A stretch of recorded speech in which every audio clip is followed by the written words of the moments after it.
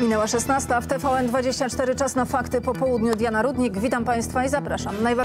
Błyskawiczne głosowanie w Sejmie i odrzucenie wszystkich poprawek Senatu, potem równie szybki podpis prezydenta i jest stan wyjątkowy bez stanu wyjątkowego. Od północy przepisy nowelizacji ustawy o ochronie granicy weszły w życie, co oznacza, że życie przy granicy z Białorusią jakoś szczególnie się nie zmieni.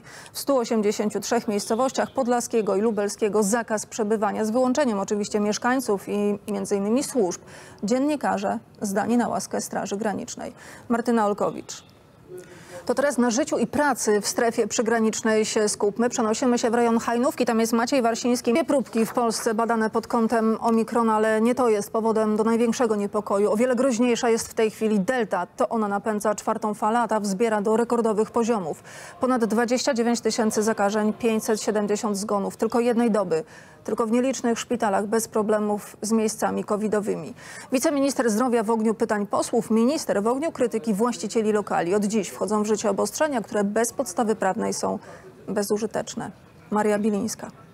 na emeryturze. My mamy siłę, ale też musimy kończyć, tak jak Parę. 20-latka Parę mamy parę. Niestety nasz czas się kończy, czas faktów po południu. Mm, Oddajemy antenę teraz w ręce Małgorzaty Łaszczy i jej gości. Już za chwilę program Tak Jest. Marcin Majewski, Dziękuję. Diana Rudnik. My pięknie Państwu dziękujemy. Widzimy się, mam nadzieję, jutro o 16 w Faktach po południu. Do zobaczenia.